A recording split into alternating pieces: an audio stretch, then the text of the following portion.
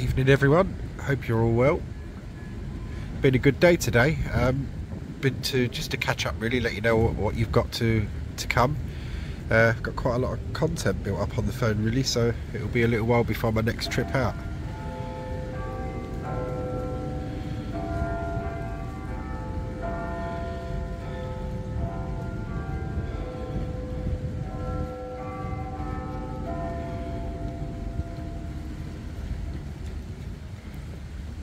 Wait for it, wait for it.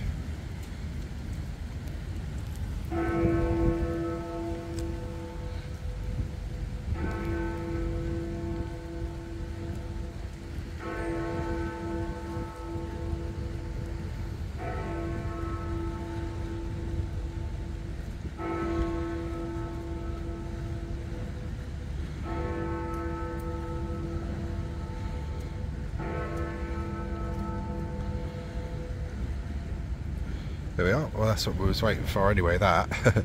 and to let you know what we've been up to today. Had a nice walk along the Albert Embankment, which is obviously opposite to the Houses of Parliament, down to Lambeth, to the old church of St Mary at Lambeth, which is no longer a church. Um, it is a garden museum, the world's first garden museum.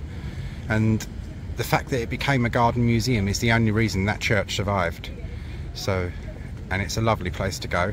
Um, two people really really fought hard to save it as you'll find out more in the story as we get along to the church. That's if you, it's your cup of tea. If you like gardening um, the Tudors the Boleyns all that kind of stuff there'll be a little bit of something there for everyone really. And um, a history of gardening as well including two of England's most famous historical gardeners the Tradescants. Um, after that because had a, oh and also a bell tower climb with lovely views across the river. And you very faintly I don't know if it picked it up but you very faintly hear Big Ben chiming from the Lambeth Church bell uh, Lambeth Church bell tower. Um, yeah anyway after we finished at the Garden Museum which was once St Mary's Lambeth and we come out of the church have a churchyard tour because I know quite a few people like those and there's some interesting people buried amongst the, the or mentioned amongst the tombstones in that churchyard uh, from there we go to the Imperial War Museum. We don't cover the whole museum today. I just wanted to get a couple of little bits of particular footage for two days time as you will see. Um, unfortunately the museum's changed a lot and not for the better either. They've taken away the bomb shelter experience and the World War One trench experience is a shadow of its former self and my battery's about to go any second so I'll finish this one but that's basically what you've got to come hope you're all going to enjoy it. See you soon. Sorry about that ladies and gents. The wire on my power bank broke so I wasn't able to charge up. But we're all sorted now and good to go for the next time. I wanted to do this little add-on piece because one of my main reasons for going to St Mary's Church at Lambeth was to see this grave or this gravestone or tombstone which marks the grave of Elizabeth Howard Boleyn, Countess of Wiltshire, mother of Anne Boleyn and grandmother of Queen Elizabeth I. Now, Thomas Boleyn, Anne's father, he is buried at Hever, but Elizabeth, as you can see with her name, Howard, mentioned here. I wonder why it doesn't say Boleyn. It's interesting, considering she died two years after the fall of Anne Boleyn and that Thomas Boleyn had been well known to shove his daughter forward. It does make you wonder, doesn't it? But yeah, anyway, he's buried at Hever and she is buried at Lambeth. Mostly because the Howards, there's a few Howards buried at Lambeth here. Um, one of its former chapels was known as the Howard Family Chapel. As I say in my videos of the church, it was where the uh, one of the childhood homes of Catherine Howard. The Boleyns and Howards were connected Catherine Howard and Anne Boleyn were, a, were cousins of sorts. I'm not sure first or second, but yeah, they were cousins. Anyway, back to Elizabeth Boleyn, the mother of Anne Boleyn.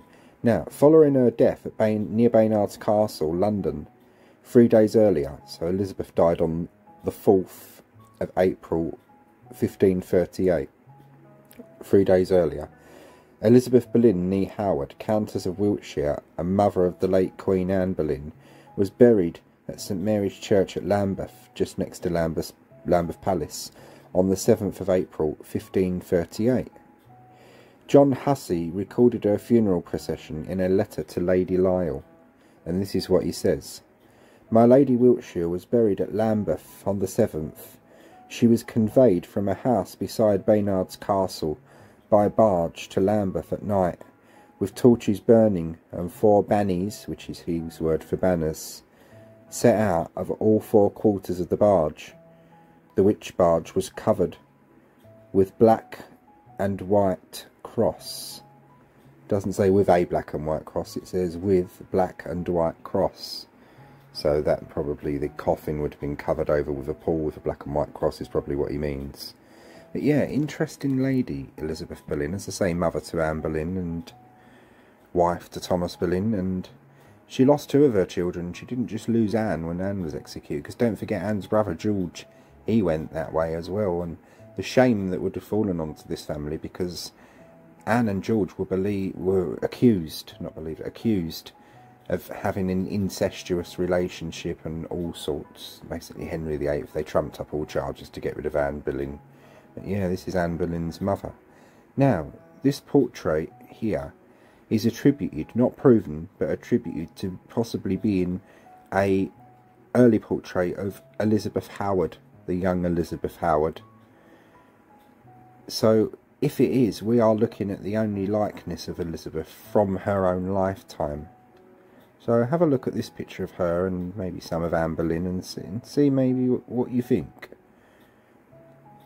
Elizabeth was an interesting lady, as I say. Um, the rumour of the time, and still now, is that she was first the mistress of Henry VIII. Then her daughter Mary was the next mistress. That didn't last long.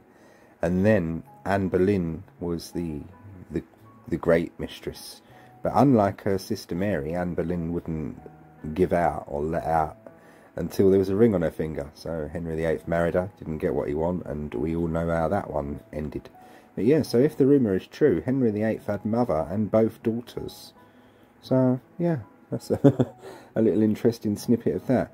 But as I say, um, Elizabeth Howard, a fascinating lady and a great survivoress, really. She died two years after her daughter, so she lived through that, unfortunately for her. But Earlier, her family had also survived the fall of Richard III, who they'd supported. And then they came into sort of their own in the Tudor court because Elizabeth here was first lady in waiting to Elizabeth of York, wife to Henry VII, who was mother of Henry VIII, and then she was lady in waiting to Catherine of Aragon, Henry VIII's first wife interesting and awkward scenario, that one, because when you consider Elizabeth's daughter Anne overthrew Catherine of Aragon, so yeah, that must have been quite awkward, mustn't it? As I say, they lived through tumultuous times, and this is one lady that certainly did. And she's buried far away from her husband, for whatever reasons.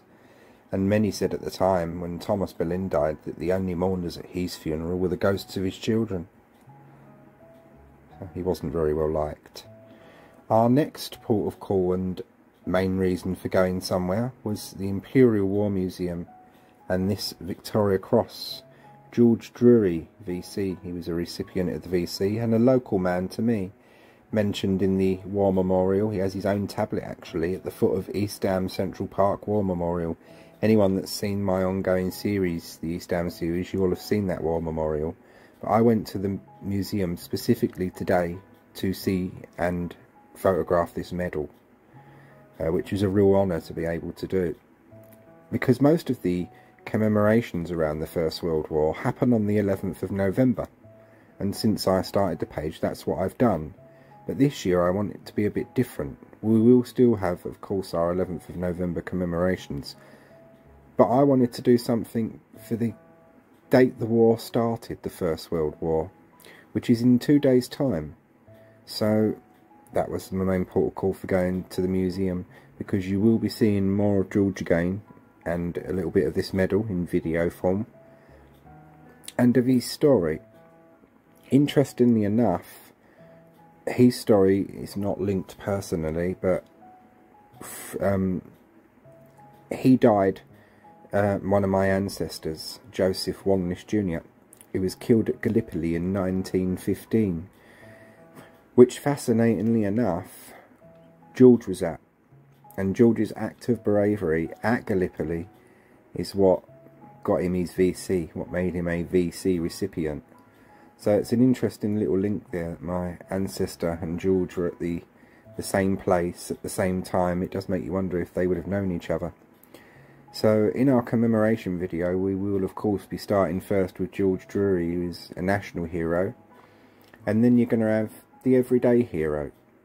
My ancestor Joseph Wanless, I've got pictures, um, there is a death certificate, I think I've even got his birth certificate I believe when I've done the family history and that and he was only 29 when he was killed at Gallipoli and all we know is that he died of wounds and when his mum received the telegram he was the youngest son and apparently her baby. They were very close. He was the baby of the family. And she collapsed five days afterwards and died of a stroke. It does uh, pretty kind of obvious what happened I and the shock of it probably was too much for the poor woman. She was 59 years old and she'd worked hard all her life and I think that probably finished her off. But yeah. And our other thing that we went to, well, not went there, but we did see at the Imperial War Museum, a fascinating piece of social history from our own lifetimes, many of us. This is a piece of the Berlin Wall that was taken down in 1989. And this is outside the museum, located in its grounds. And I wasn't able to video it because the battery was running low and I needed to film the exterior shots for St Mary's at Lambeth so I could put the video together. But I took this picture, uh, a couple of pictures of it actually. Yeah, this is the Berlin Wall. So many of you will actually remember. I was five when this happened. Vague, vague remembrance of it being on the news. I do remember it on the news when the people, because the people were pulling the wall down, and then a big slab of it came down. That I remember. Um, but not really the events and things and like that. But I do remember when, when it came down as a five-year-old boy. That's probably one of my earlier memories. And many of you will have more vivid memories of it yeah, that's what we what we've been up to today basically. The grave of Elizabeth Boleyn, the Tradescants of course, which aren't included in this video, but you will see them in the St Mary's at Lambeth one. George Drewry and the Berlin Wall. So, keep an eye out on the page. You will be seeing the commemoration for the First World War in two days' time, without fail. And the other stuff I'll put on as and when I can hope you're going to enjoy the content and find it interesting. Thanks for watching all. See you soon.